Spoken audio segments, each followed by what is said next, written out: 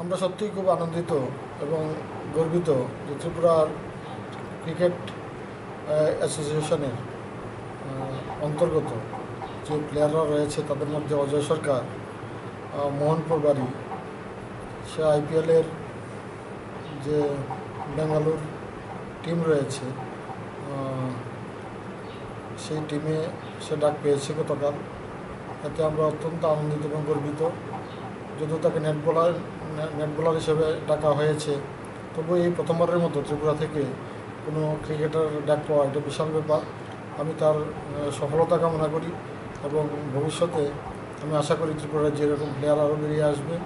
এটা অত্যন্ত আমরা আমাদের গর্বের দিন এবং আনন্দের দিন।